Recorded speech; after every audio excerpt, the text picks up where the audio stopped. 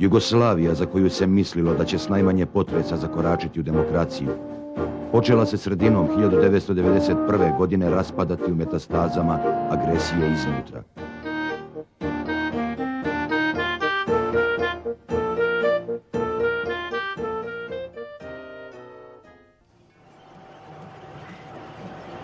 jučerašnja zajednička armija izvela je napad na Sloveniju, pa na Hrvatsku, potom na Bosnu i Hercegovinu. Smjerom povlačenja takozvane JNA, koja je tada već bila podređena srpskom razlogu, rasle su razmjere njenih zločina. Mnogi razlozi historije, razuma i budućnosti govorili su u prilog održanju ove zemlje.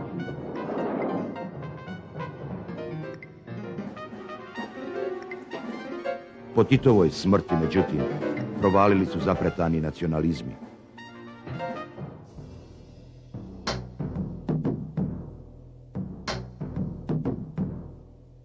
Onaj najveći bio je ujedno i najarogantniji. Bio je i najmoćniji, jer je zaposjeo sve organe države.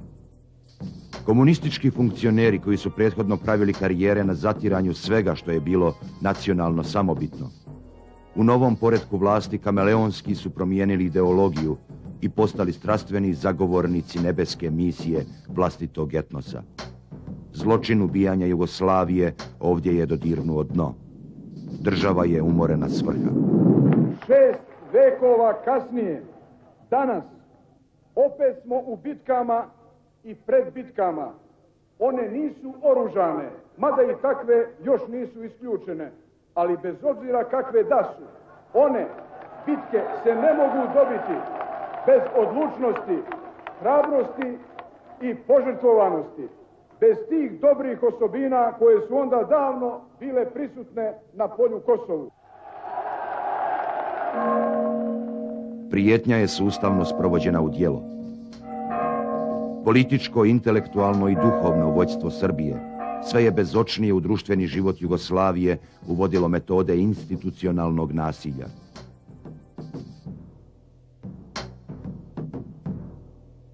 Interesi ostalih naroda o većini prilika bili su brutalno ignorirani.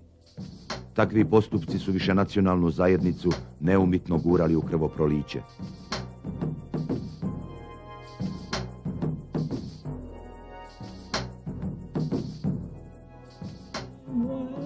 Naročito jaka slutnja nesreće koja se spremala bila je u Bosni i Hercegovini, u kojoj stoljećima koegzistiraju različiti narodi i različite vjere.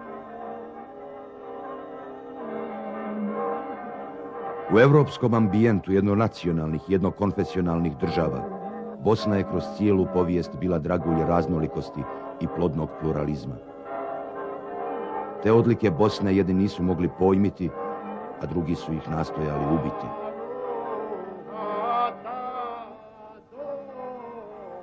Većina bosanaca i hercegovaca željela je održati vjekovima građeno zajedništvo, znajući da bi iskorjenjivanje ljudi sa njihovih ognjišta proizvelo neslučene tragedije.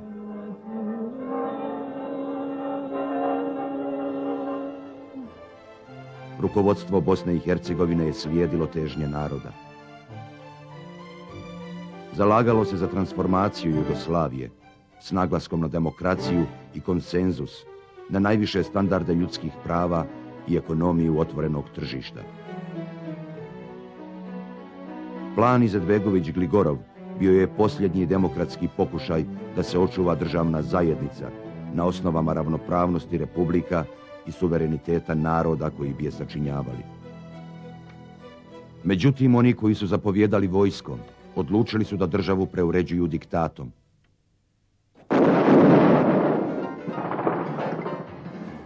Počelo je napadno istiskivanje Slovenije iz zajedničkih granica. Ona je naime etnički bila odveć svoja, pa se nije dala srbicirati.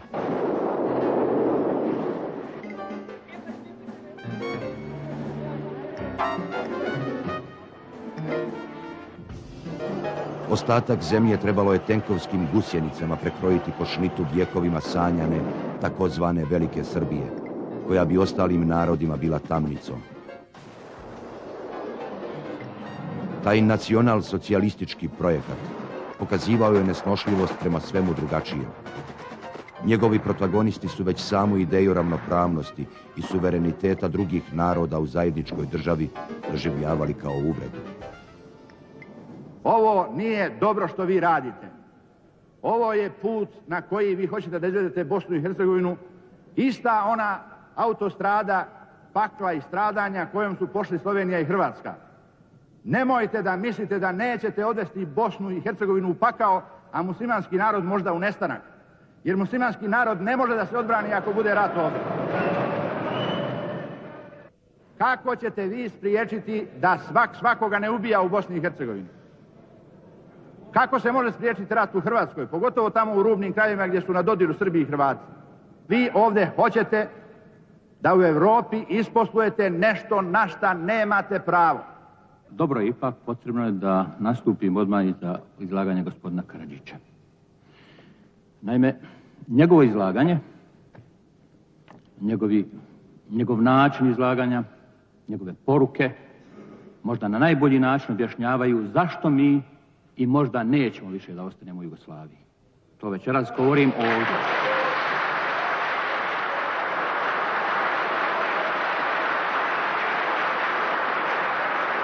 I još nešto.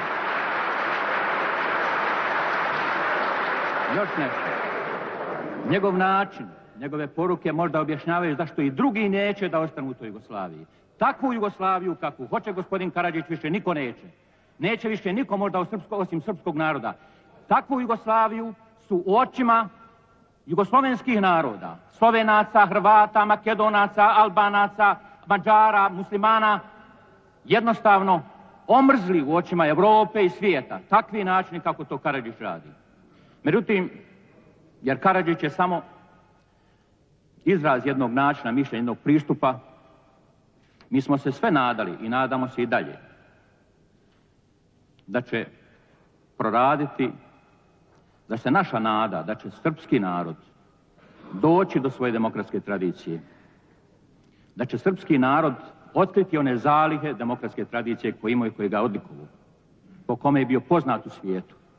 Ovo što se radi danas, ovo ne služi na čast srpskog narodu, ovaj način istupanja, ove prijetnje koje se iskazuju. Muslimanski narod neće nestati. To ja poručujem gospodinu Karadžiću.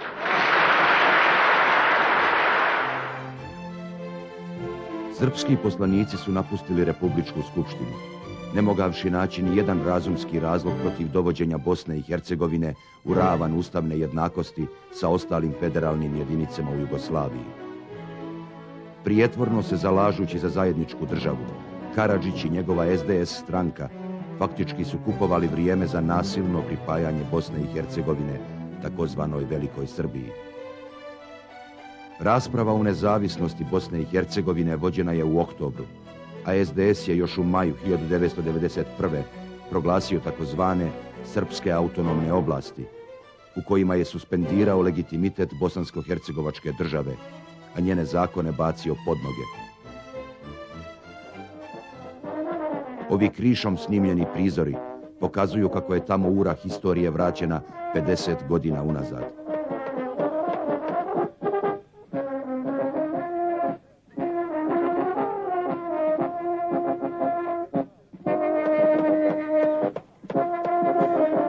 Ponovo su uskrsnuti fašizam i ideologija četničke kame. U SAO područjima obavljane su posljednje pripreme za masovne likvidacije Bošnjaka. Određivane su lokacije za koncentracione logore. Domišljalo se najveće i jedino u povijesti masovno silovanje žena, formulirano kao ratni cilj.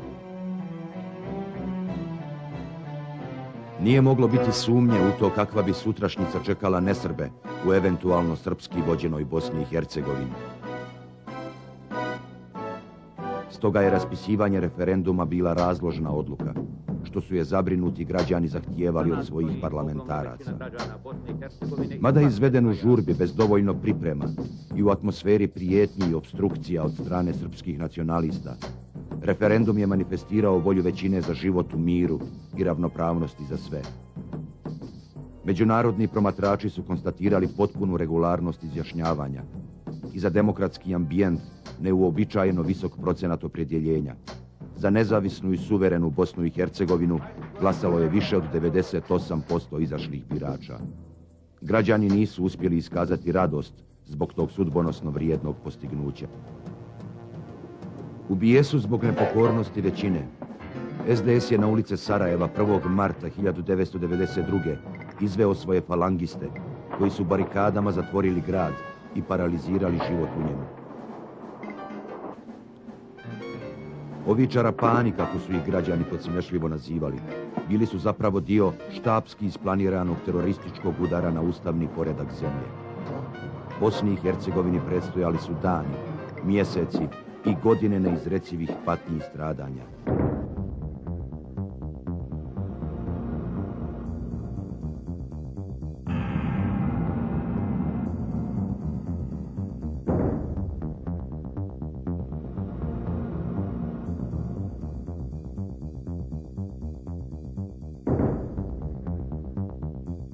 Početkom 1992.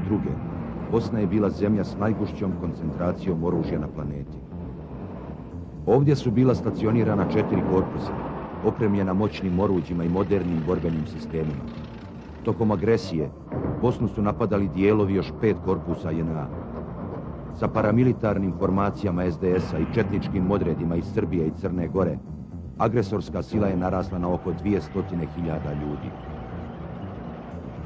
Inducirana mržnjom prema svemu nesrpskom, ta nezvana i u Bosni nepoželjna armada raspolagala je sa oko hiljadu tenkova, nekoliko stotina oklopnih transportera, tri i po hiljade artiljerijskih cijevi, neiscrpnim stokovima pješadijskog naoružanja i municije. Njeno bolesno vođstvo psihološki ju je pripremilo za zločine, kakve ova zemlja nije upamtila u hiljadu godina svoje povijesti.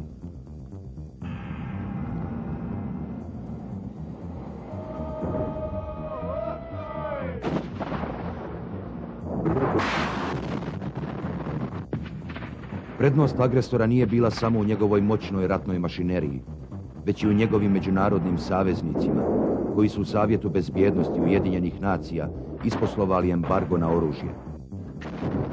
Zabrana prodaje oružja na teritoriji nekadašnje Jugoslavije praktički je primjenjivana samo na armiju Republike Bosne i Hercegovine, a to je sudeći po mnogo čemu i bio cilj meštara iza scene. Tri od pet svjetskih sila opravdavale su embargo frazom da bi više oružja u Bosni automatski značilo i više rata. U toj zamjeni teza pobrkani su pojmovi nenaoružanosti i mira, što je išlo na ruku agresiji i genocidu. Po prirodi stvari, narod bez odbrane u svakom je sukobu unaprijed viđen kao žrtva. Bosnia Republic within the Političko vođstvo Bosne i Hercegovine posjetilo je sve relevantne adrese i pokucalo na svaka važna vrata u svijetu, ne bi li priskrbilo mrvicu pravde za svoj narod. Uzalud. Nije mogla proći čak ni molba da se embargo nenaoružanoj armiji Republike Bosne i Hercegovine ukine na ograničeno vrijeme za ograničenu količinu defanzivnog oružja.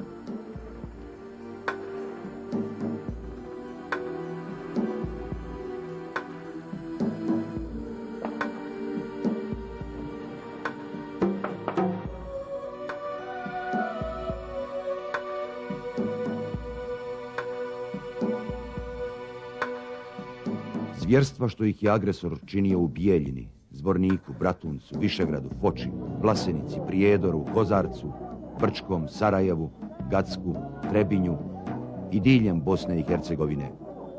Mobilizirala su svakodnevno hiljade branitelja.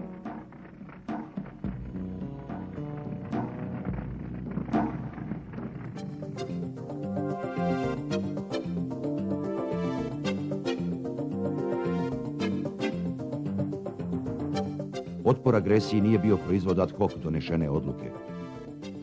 Još u junu 1990.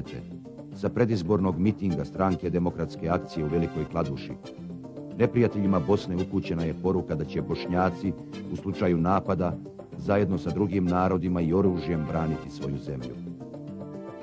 Godinu dana kasnije, a deset mjeseci prije agresije, SDA je u Sarajevskom domu milicije uz učešće 380 predstavnika iz cijele Jugoslavije formirala Vijeće nacionalne odbrane.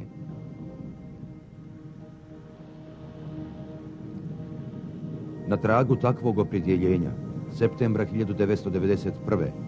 u Hrasnici je održano prvo savjetovanje Patriotske lige Bosne i Hercegovine. U atmosferi bliske ratne opasnosti patriotske snage pristupile su organiziranju odbrane. U ilegali su formirane grupe dobrovoljaca, koje će se u času agresije preobraziti u prve odrede.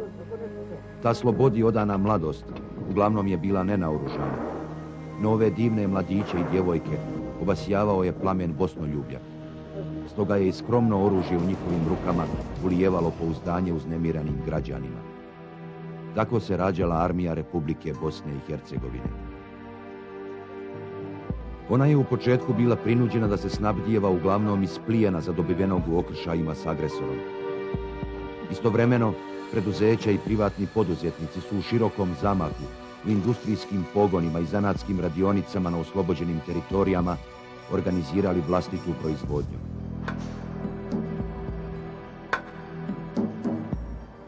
Elan, brzina i invencija obilježili su u toku agresije jedan cijeli pokret, u okviru koga su inženjeri i majstori za samo nekoliko sedmica proizvodne linije civilne namjene preorijentirali na opskrbu fronta, izrađujući granate, bombe, municiju, pješadijsko oružje, komponente za borbene sisteme. Odbrana nije samo pitanje oružja, već i motiva. Obični ljudi bili su riješeni da idu do kraja, jer nigdje nisu bili potrebni kao ovdje, a nikome nisu bili dužni kao Bosni. U našim snagama je na zavidnom nivou. Odaziv našeg stanovništva je maksimalno i vjerujem da ćemo uspjeti.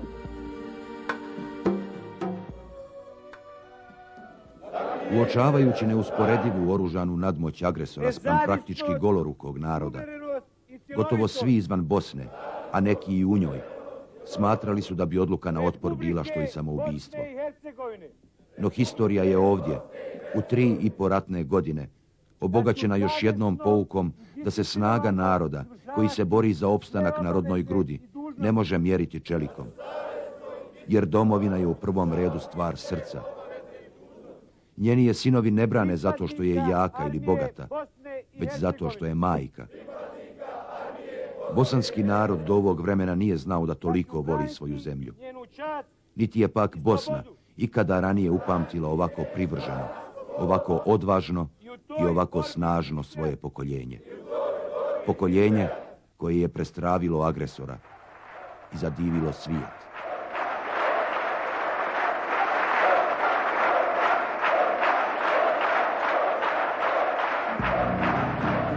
Jedna popularna pjesma iz tih dana uočila je da se Bosnom širi miris ljiljana. U narodu je narastao osjećaj slobode. Agresorska zamisa o Blitzkriegu raspršavala se poput vještačke magle. JNA i SDS planeri bili su ubijeđeni da će Bosna za dvije do tri sedmice kapitulirati. Dešavalo se međutim potpuno suprotno. Narod je ustajao spontano i nezaustavljivo kao oceanska plima. Agresor je nemilosredno tukao po svakom djeliću otpora. No uprkos tome u redovima branitelja bilo je uvijek više ljudi nego pušaka. Zemlja je najvećim dijelom bila okupirana, ali bosanski čovjek se nije predavao. Odmetnuto JNA soldateski suprotstavile su se jedinice teritorijalne odbrane i Ministarstva unutrašnjih poslova, te pripadnici Patriotske lige, Zelenih beretki, Bosne, Sinova Bosne.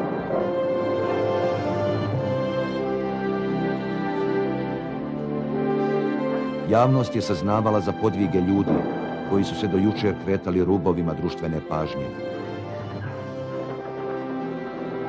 Gradskim kvartovima, selima, proplancima i gorama počela su se šaputati i opjevavati neka dotada nepoznata imena. Rami Salčin, Mustafa Hajrulahović Talijan, Mihajlo Petrović, Abba, Fadila Ođaković Žuta, Vinko Šamarlić, Dragan Vikić, Kemo Ademović, Juka Mutebelija, Čelo, Topa, Doktor, Senad Žino, Miralem Jugo, Lovac, Senad Bolić Bolo, Fata Turkušić, Muderiz, Čedomir Domuz, Igor Pavlović, Hamdija Avdić Tigar, Mirsad Crnkić, Rifat Koprđa, Enver Pamukčić, Zajim Imamović, Čaruga, Havarija, Jupi, Žabac, Čupo. Noć sa 1. na 2. maj 1992. U Sarajevu su vjerovatno samo djeca prespavala mirno. Odrasli su bili opkrvani strepnjom od najgore. Prethodnog poslije podneva, naime, u petak 1. maja, JNA je na Sarajevskom aerodromu kidnapovala predsjednika predsjedništva Bosne i Hercegovine i zajedno s pratnjom, u kojoj je bio i podpredsjednik Republičke vlade, zatočila ga u jednoj kasarni. Bio je to klasičan puč s ciljem da se obezglavi odbrana zemlje i postavi kvislinška garnitura koje bi bilo naloženo da Bosnu i Hercegovinu priključi onome što je ostalo od Jugoslavije. Što taj zlokobni plan nije ostvaren, treba zahvaliti jednom slučajnom telefonskom razgovoru, poslije koga se u rasvjetljavanje afere putem centralne informativne emisije uključila i televizija Sarajevo. Pod pritiskom domaće javnosti, a još više u strahu od međunarodnih reakcija, vojska je morala osloboditi predsjednika predsjedništva. Međutim, nije odustala od drugog dijela svoga plana. Da zauzme zgradu predsjedništva i vlade, te da stari dio grada, tradicionalno naslanjen bošnjacima, uhvati u tjesan obruč srpske opsade. Patrioti su osujetili i taj naum. Uvidjevši da, uprkos beskrupuloznim razaranjima, ne mogu zauzeti grad, JNA i Karadžićevi Srbi do temelja su spalili srce PTT sistema Bosne i Hercegovine, prekinuvši time veze Sarajeva sa svijetom.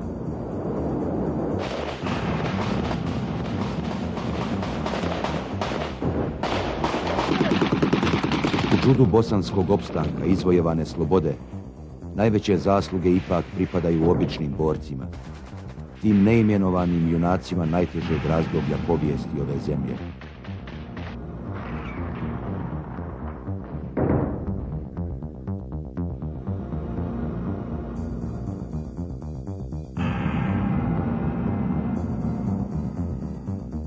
Kapacitetu vrhovne komande predsjedništvo je pozvalo oficire JNA porijeklom iz Bosne i Hercegovine da se uključe u odbranu. Namjera je bila da se na što je moguće manju mjeru svedu pogibije i ranjavanja boraca. To je ujedno bila važna pretpostavka za profesionalizaciju odbrane, koordiniranje i povezivanje odreda po unutrašnjosti zemlje. Sa nivoa države štabom teritorijalne odbrane rukovodio je pukovnik Hasan Efendić. Formiravši u maju armiju Republike Bosne i Hercegovine, predsjedništvo je za načelnika njenog štaba postavilo Sefera Halilovića.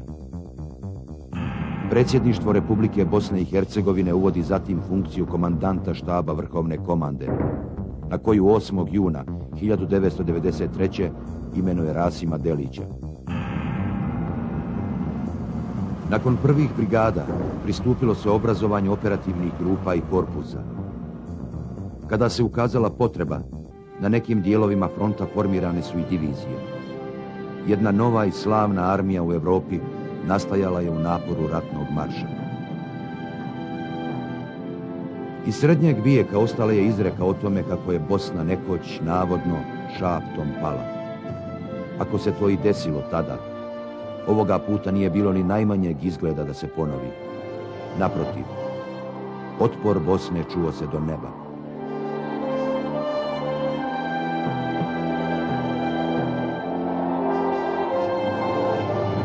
Dobro ste naoružani. Sljedeća popuna municija, municijom kočetnika. Je li jasno? E,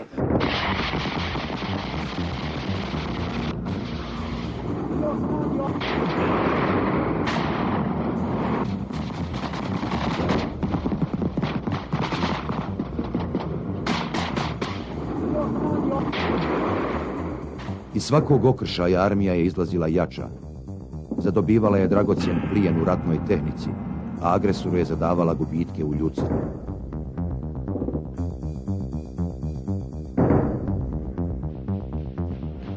Na području što ga je branila armija BiH, odnos civilnih i vojnih žrtava bio je 90 naprema 10.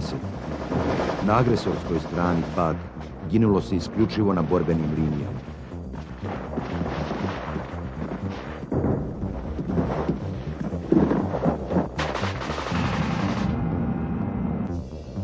Bosanski vojnik nije napadao civile. Njega je motivirala sloboda, a ne osveta.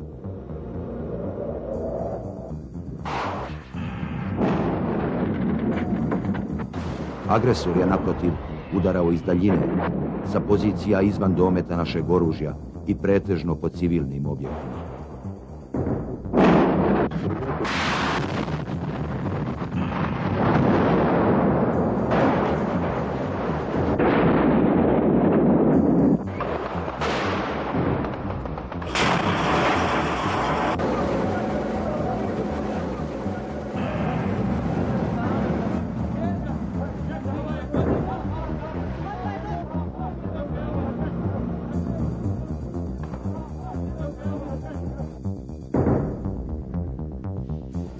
Do agresije na Bosnu i Hercegovinu historija ratovanja nikada i nigdje nije zabilježila da je neka vojska u koordinate artiljerijskih ciljeva uvrstila porodilišta, bolnice, škole, dječje domove, džamije, crkve, čak i groblja.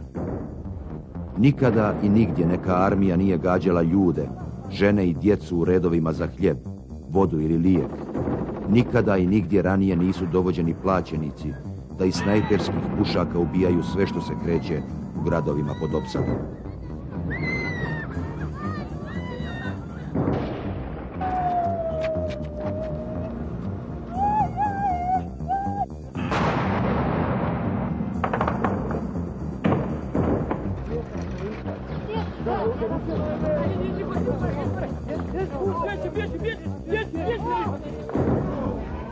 Na frontu općenarodnog otpora gdje je zasluga bila već samo opstajanje na strašnome mjestu.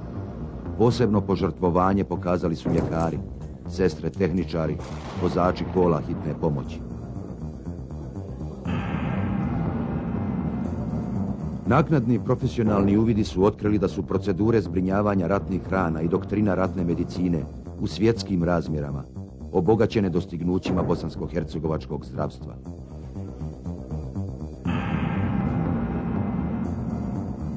U jednom od prvih izvještaja specijalni izvjestitelj Ujedinjenih nacija za ljudska prava na području bivše Jugoslavije konstatirao je kako je agresor zločine nad civilima svrstao među svoje primarne ratne ciljeve.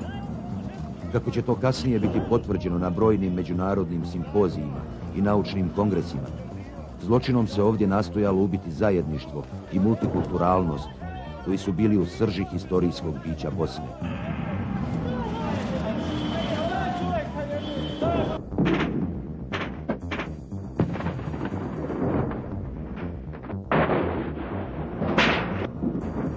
Bošnjaci i Srbi su do aprila 1992. bili rasprostranjeni na 95% teritorije Bosne i Hercegovine, dok su Hrvati bili autohtoni na sedam desetina površine zemlje.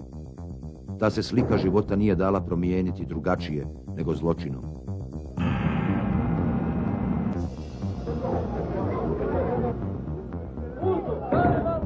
Etnički inženjering smišljen u samoj glavi srpstva stremio je nasilnom potiranju organske isprepletenosti stanovništva i formiranju nacionalno jednoobraznih enklava. Blizu dva i pol miliona ljudi silom je prognano sa kućnog praga. Bila je to operacija jednako bolna kao preuređenje skeleta na živom tijelu, ali bez anestezije.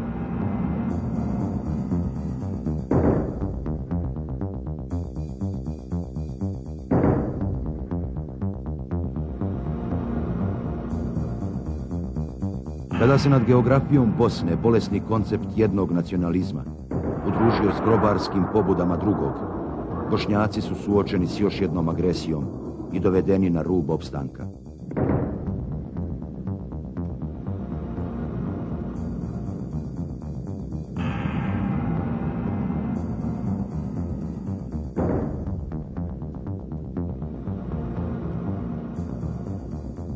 Opstali su zahvaljujući samo borbi i armiji koja je stasala iz snage i vrline svoga naroda.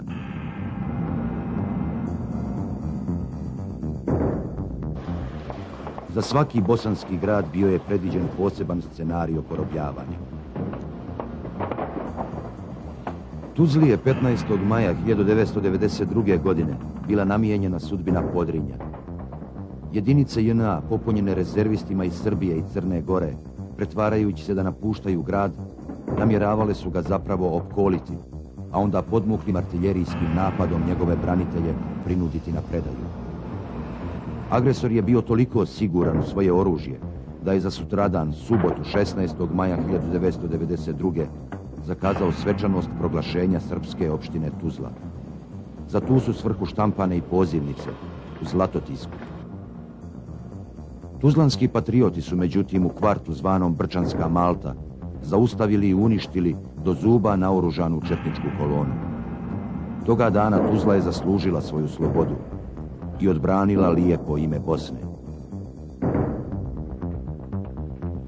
U Zenici su sve aktivnosti bile podređene zahtjevu za olakšanjem ratnog napora u mjestima gdje je agresija bila bliža, a njen udar više koncentriran. Odavde iz srca Bosne koordinirane su akcije za održanjem i širenjem slobodne teritorije. Rezultati tih nastojanja posebno su bili uočljivi u Bugojnu i Novom Travniku.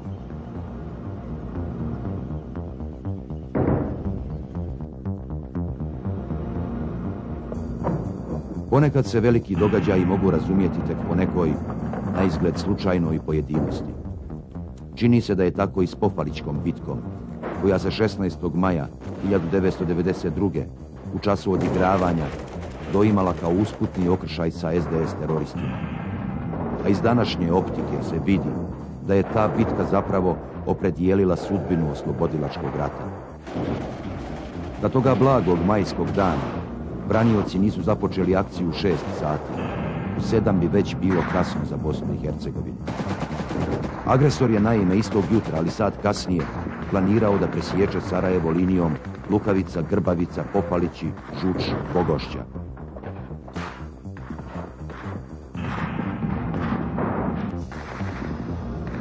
Sarajlije u takvom obruču ne bi mogle izdržati opsadu ni tri, kamoli 43 mjeseca. Ni najviše drvo ne može rasti do neba.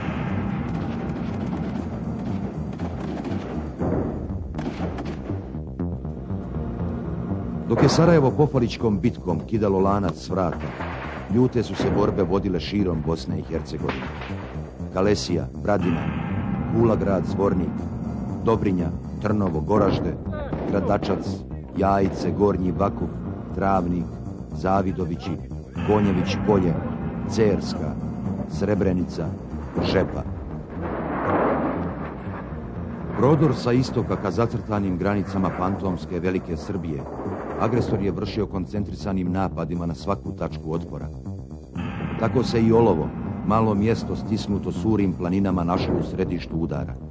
Avioni, tenkovi, artiljerija najjačih kalibara, smjenjivali su se sa jurišima srbočetnika i plaćenika iz istočnih zemalja. Agresor je lomio zube, ali se nije pomicao ni za pedalj. Branitelji Olova svojom su žrtvom i pobjedom odbranili, ali i proslavili Bosnu. Do agresije većina Sarajlija nikada nije čula za žuč, plećato brdo koje iz sjeverozapadnog pravca dominira gradom. Tek kada je 8. juna 1992. godine iz rovova na žuči potiran srpski agresor, građani glavnog grada saznali su da se sa tih kota nadzire svaka tačka u kotlini i po obodima Sarajeva. Agresori su na branitelje Žuča znali ispaljivati po 5000 granata dnevno. Žuč, međutim, nije podnosio agresorsku čizmu.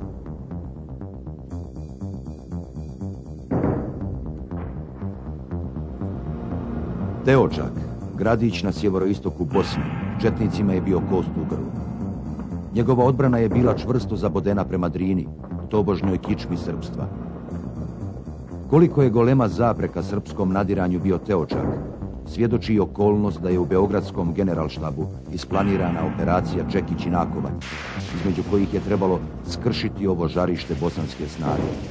Ali svi napadi srbočetnika završavali su porazom.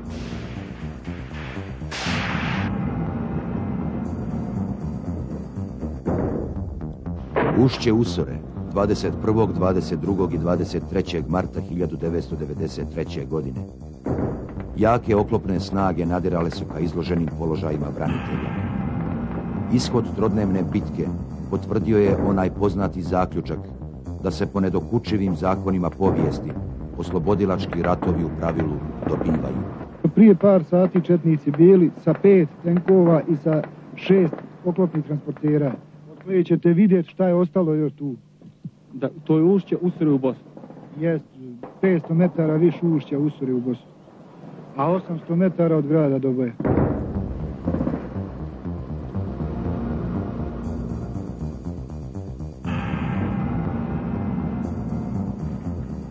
Mostar početkom ljeta 93. Čudo je kako je tu narod uopće preživio. U kliještima dviju napadačkih vojski, u ruševinama grada okruženog uskim pojasom hercegovačkog kamenjara, bez hrane, lijekova, municije. Pošto su neprijatelji optički kontrolirali svaki kutak u ovoj enklavi, policijski sat je vjerovatno jedino tu, jedino tada u historiji ljudskog roda uveden dan. Građani Mostara i hiljade prognanika iz istočne Hercegovine iz skloništa su izlazili tek po smrknuću, kada bi ih tama u gradu bez električne rasvjete štitila od agresorskih artiljeraca i snajperista. Dio te atmosfere pokušava dočarati film inostranih reportera. U sumrak 30. juna 1993. branitelji su se odlučili na proboj pravcem Sjeverni logor Bijelo polje Grabovica na spajanje sa slobodnom jablanicom. Hrabrost je i ovdje nagrađena. Uspjeh se mogao dokučiti jedino borbom. Zaista, s mukom dolazi i olakšanje. Iz bitke u bitku armija brojno jača i organizaciono se izgrađuje. Njeni udari razbijaju tehnički nadmoćne formacije agresora, a njeni položaji bivaju sve postojaniji. U međuvremenu je izgrađena logistika armije, koja je samo u dvije posljednje godine rata uspjela dopremiti više od 75.000 pušaka, 100 miliona metaka, 50.000 artiljerijskih granata i veliku količinu protivoklopnih sredstava kojima su zaustavljane ofanzive neprijatelja i uništavani njegovi tenkovi. Sve to i mnogo druge opreme unijeto je zahvaljujući upornosti i hrabrosti mnogih ljudi, kako je jednom rekao predsjednik Izetbegović, preko sedam gora i sedam mora, uslovima različitih blokada i embarga. Bez toga oružja odbrana bi posustala, a rat je mogao poprimiti drugačiji tok. U ravnu i pitomu Posavinu agresor je dovukao 54 tenka, kojima je nastojao pregaziti položaje branitelja. Uzaman.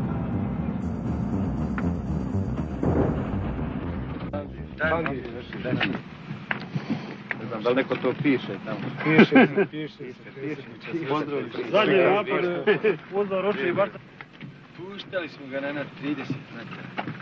30 metara? Ovo je preopasno na 30 metara pušte. Nije njemu preopasno. Pa jeste preopasno kad ga vidiš, ali već mi smo uvježbali na to. Znamo sada o njemu puno. Ovaj RPG-7 ga može uništiti, ja? Teško. Prije četvorku sam ja pogodio na 100 metara.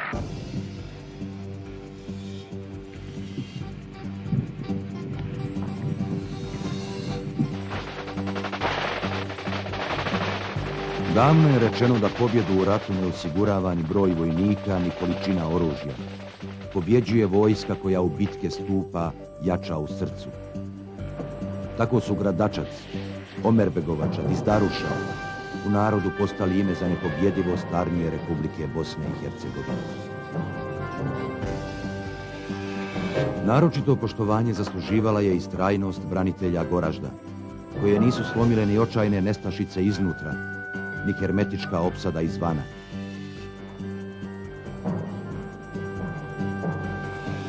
U maju 1994. drugi korpus izvodi kontraofanzivu pod lirskim nazivom Proljeće. Cilj je bio vijenac, strategijsko uporište sa koga je agresor artiljerijskom vatrom ubijao i sakatio civile u širem okruženju Tuzle, Lukavca, Banovića i Živinica. Akcija je počela 11. maja, nakon što su četnici nasjeli duhovitom ratnom lukavstvom, da se tobože sprema ofanziva na vozuću. Njihove posade na vijencu su stoga bile potpuno zatečene jurišom združenih jedinica drugog korpusa. Tom prilikom razbijena su dva neprijateljska bataljona, zarobljena dva tenka T-34, pet topova ZIS 76 mm, dvije kompletne minobacačke baterije od 82 i 120 mm, četiri bestrzajna topa, pet patova, 12 pamova, tone materijalno-tehničkih sredstava. Pobjedom na vijencu najavljeno je oslobodilačko napredovanje Armije Republike Bosne i Hercegovine.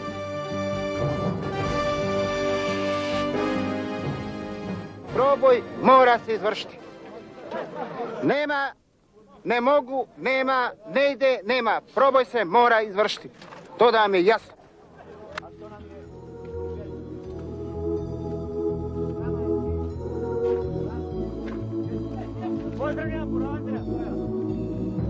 Napadajući agresora na izabranim pravcima, armija pokazuje kvalitet da iz operativnih prelazi u strateška djejstva.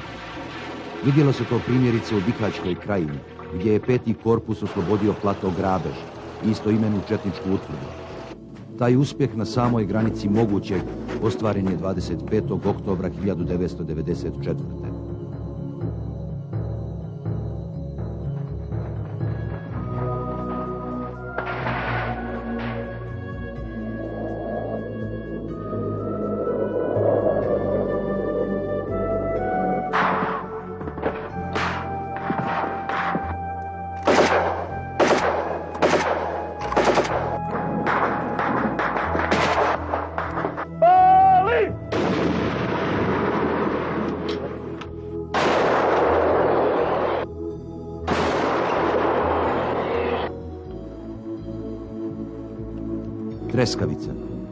Planina koja očarava ljepotom, a istovremeno zastrašuje nepredvidljivom čudi.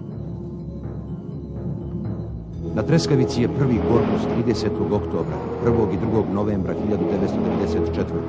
sravnio agresorska uporišta, zarobivši pet tenkova, četiri transportera, dva topa B-1, sedam protivavionskih sistema strijela, 14 pamova, nekoliko hiljada granata različitih kalibara, i stotine hiljada komada pješadijske municije. Akcija je bila toliko uspješnija što je ostvarena bez jednog poginulog borca. Gospodine predsjedniče, prva tenkovska četa prvog oklopnog bataljona postrojena u vaš čas. Jedinica je formirana iz plijena što smo uzeli u proteklim borbenim dejstvima. Dragi vojnici, pozdrav domovini! Pozdrav!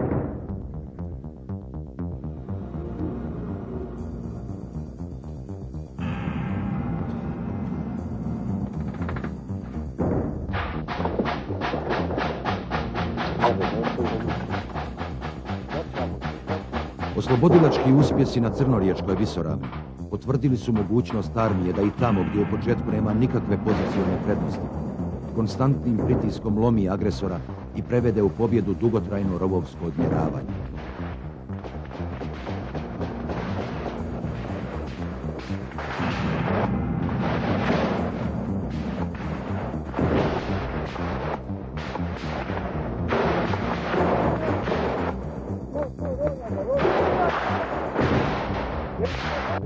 Jedna od udarnih grupa iz svoje četiri.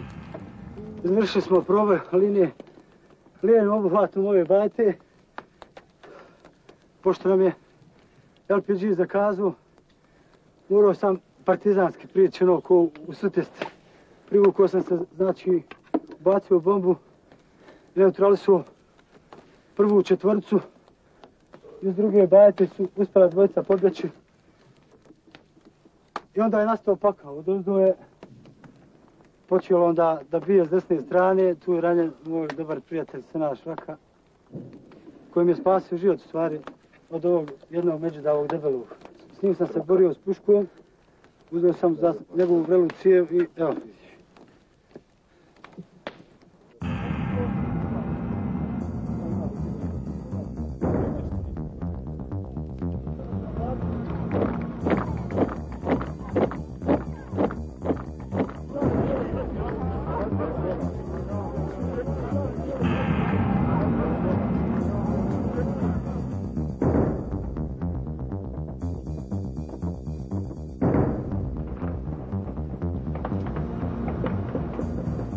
Komanda i borci četvrtog korpusa u ovo vrijeme učinili su Hercegovinu poprištem odvažnosti i bosanskog uspjeha. Nismo znali šta su zolje, ose. Ovaj, jednostavno kroz rat on nas je dosta naučio svemu. Pa smo tako da smo pružili vrlo jak otpor agresoru koji je bio i nadmoćan i dobro naoružan, ali mislim da nisu imali ono što smo mi imali srce. Evo javljam ti skupe se, daj mi 212. Ozbiljno ti kažem. Ja, ja, ja!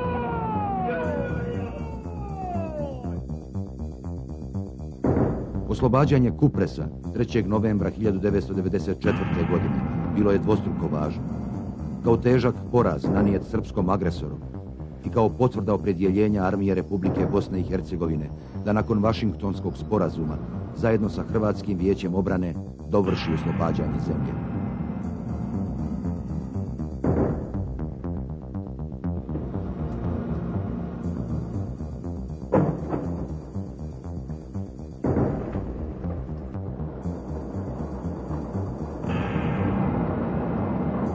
Srpski agresor je namjeravao trajno zasjesti na bošnjačkoj baštini u Donjem Vakovu. Promijenivši čak i rodno ime grada, nastojao je zatrti sve bošnjačko i islamsko. Taj opaki naum uzaludnim su učinili borci sedmog korpusa. Tiče crkvi može da ostane, nama ne smijeta, ali džami ćemo ko bude napraviti drugu. Od početka sam ovi govorio da vojska Bosne i Hercegovine mora biti vojska svih naroda i narodnosti. I da u toj armiji Bosne i Hercegovine budu svi ljudi. Svi ljudi koje misle dobro o ovoj Bosni i Hercegovini.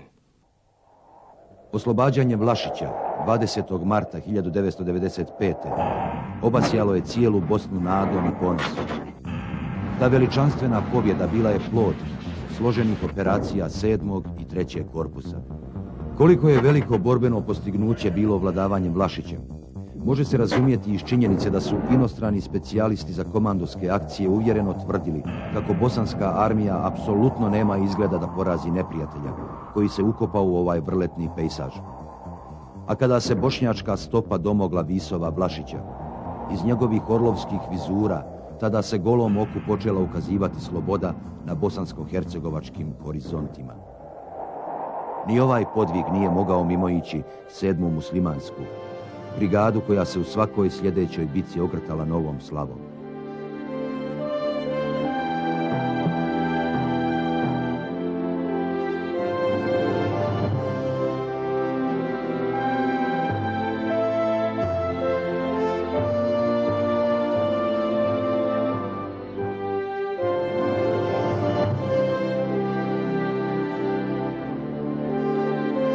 Predsjednik predsjedništva Republike Bosne i Hercegovine, ujedno i vrhovni komandant oružanih snaga, u toku oslobodilačkog rata boravio je na svim linijama odbrane, uključujući i one u neprijateljskom okruženju.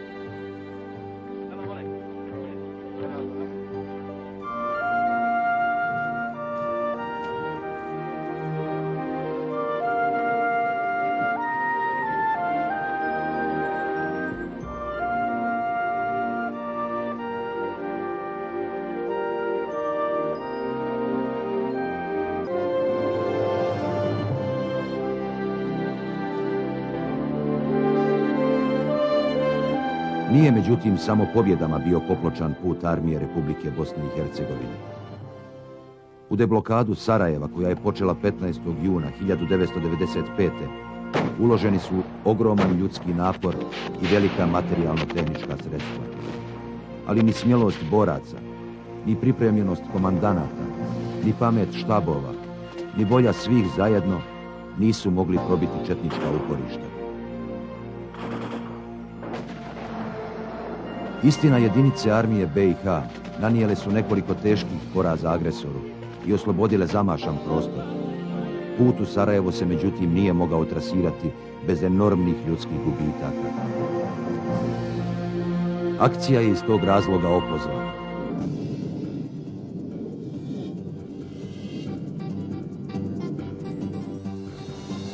Tek pošto je NATO avijacija bombama i raketama iscijepala omču oko Sarajeva, pokazalo se kolika su sila i tehnika bile usredsređene na glavni grad. JNA i Četnici su tu bili izgradili mnoštvo bunkera, betonskih rovova, komandnih mjesta i centara veze. Ukopali su na stotine topova, minobacača, tenkova, patova, pamova, mitraljeskih gnijezda, snajpera, sijača smrti. Deblokada Sarajeva za volju istine ne bi smjela ostati zabilježena samo kao neuspjeh. Njome, to se danas jasno uočava, agresor bio prinuđen da velike snage sa drugih frontova dovuče na Sarajevo. Time su nastale šupljine u četničkim položajima, što su jedinice armije BiH iz unutrašnjosti znalački iskoristile za smjele i efikasne udare.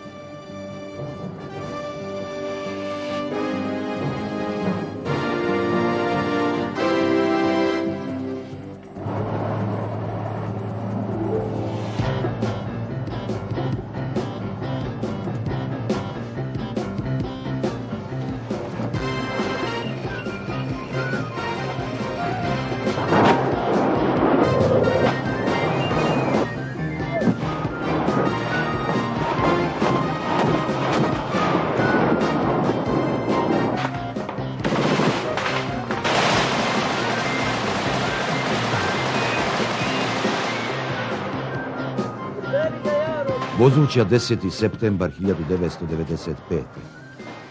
Ova pobjeda također ostvarena iznad očekivanja. Ostaće zabilježena kao operacija kojom su spojena dva neprijateljskim utvrdama razdvojena korpusa, drugi i treći. Time su ujedno industrijski bazeni Zenice i Tuzle povezani najbližom putnom komunikacijom. Agresor je Vozuću smatrao trajno zaposjednutom i stoga neosvojivo.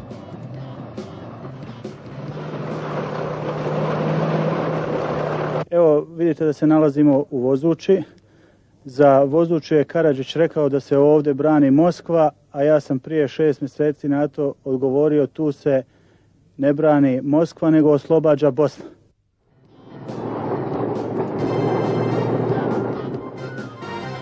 I na Vozući se potvrdila sposobnost komandi jedinica armije Republike Bosne i Hercegovine da na bojnom polju uspješno izvodi složene operacije.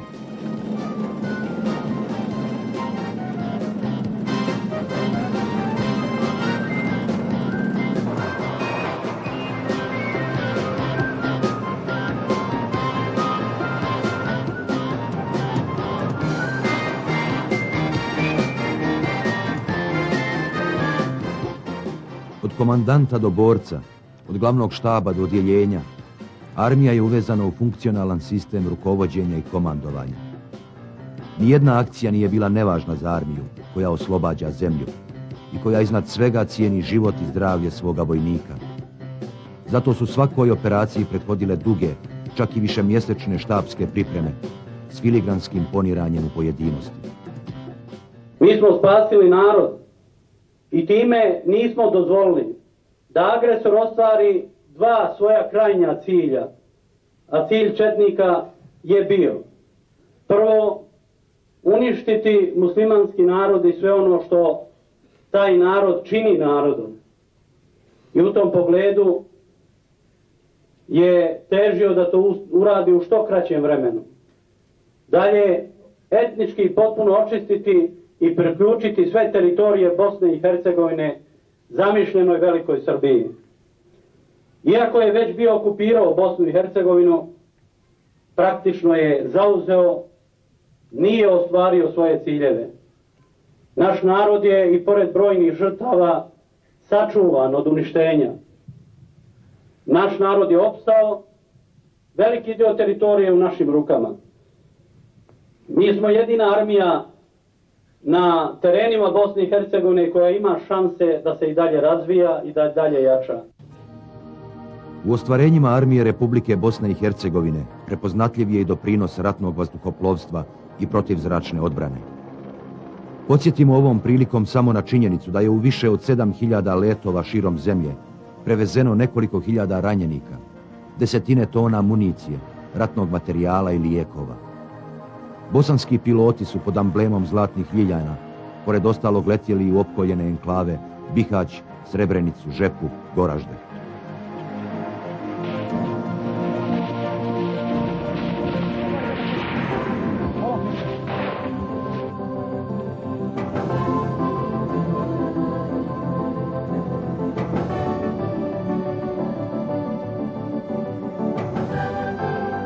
Krajini je peti korpus odolijevao na tri fronta. Protiv Karadžićevih Srba, protiv Martićevih Srba i protiv izdajnika Fikreta Abdića. Sve ih je nadvladala sila bosanska, taj jedinstven spoj bošnjačke duševnosti, krajiške srčanosti, vojničkog drugarstva i komandantskog dara. Ličko Petrovo selo je slobodno, ima dosta zarobljenih četnika, zarobljene tehnike i nadam se popodne ili sutra da ćemo se spojiti sa hrvatskom vojskom.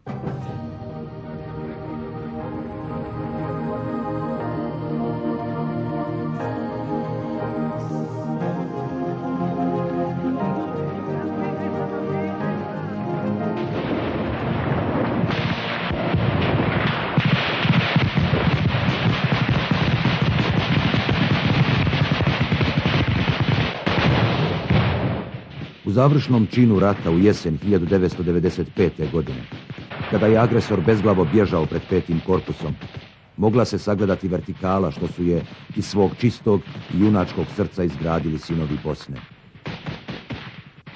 Bosanski Petrovac, Ključ, Bosanska Krupa, Sanski most. U oslobađanju krajine do izražaja je došla sposobnost bosanske vojske da na najvišem operativnom nivou organizira svoje jedinice s visokim kvalitetom manevra i neodoljivom udarnom snagom.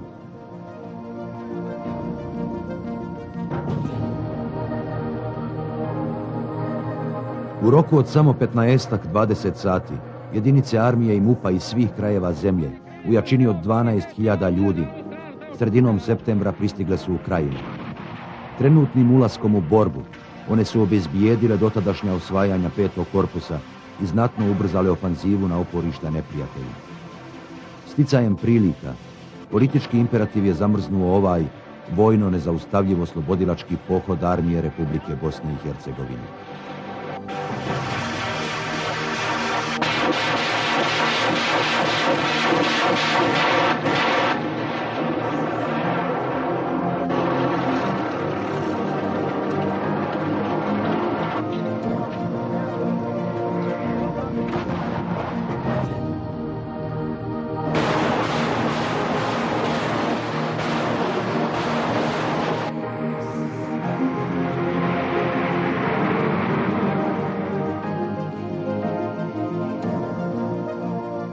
Slave što ga je prokrčila armija Bosne i Hercegovine oivičen je bitkama. Da se nisu desile, bile bi nevjerovatne, čak i nastavnicima svojnih učilišta. Katedre taktike i operatike u Bosni 92. do 95. godine preuzelo je bojno polje.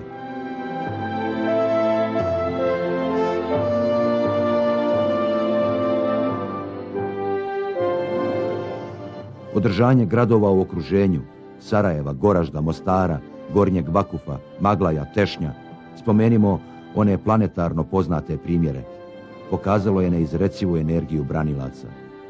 Tunel ispod piste Sarajevskog aerodroma, triumf je nepokolebljivosti invencije jednog nepobjedivog naroda. Otpor je crpio snagu iz onoga što svaki narod u svome duhu smatra za istinito. Na historijskoj magistrali od aprila 92. do decembra 95. Armija Republike Bosne i Hercegovine je prolazila kroz mnoge teškoće, iskušenja i mijene. Za samo 44 mjeseca raštrkane i samonikle grupe patriota izgrađene su u zrelu armiju, koja u odbrani zemlje i slobode, operativnim djejstvima i taktičkim postignućima zna i može kovati strategijske rezultate.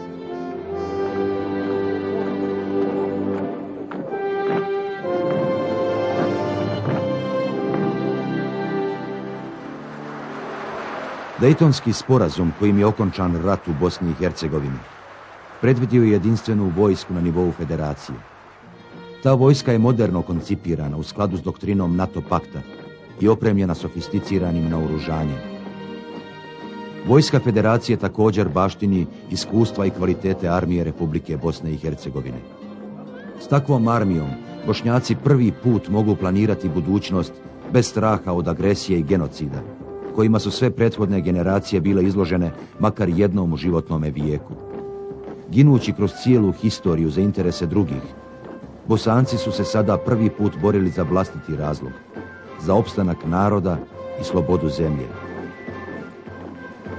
Nikada više bošnjački narod neće biti objekat u velikodržavnim posezanjima okolnih oligarhija, a Bosna više nikada neće biti plijen bilo čijih apetita. Zahvaljujući svojoj vojsci, Bošnjaci prvi put imaju sigurnost u ovom podnebu. Dragi vojnici, pozdrav domovini!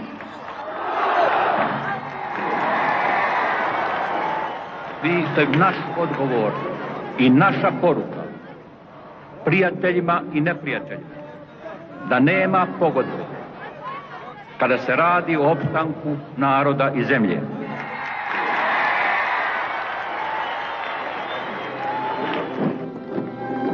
Bosanski vojnik sijao je svojim putem slobodu, zalijevajući je i vlastitom krvlju.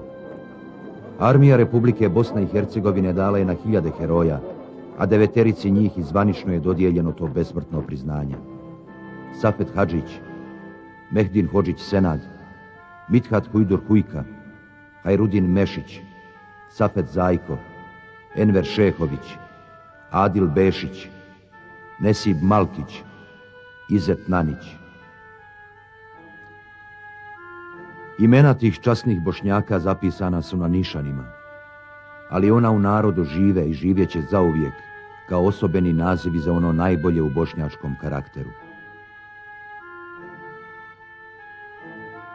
Ova zemlja izgrađena je i podvizima hiljada svojih usnulih sinova. Oni su se plemenitošću uzdigli do primjera budućim naraštajima. Oni nisu mrtvi, mada se to nama može činiti. Oni su svjedoci istine i pravde, sila bez kojih bi nam zemlja pod nogama propala, a nebo nam se sručilo na glavu. Neka ih zato obasjava milost neizmjerna.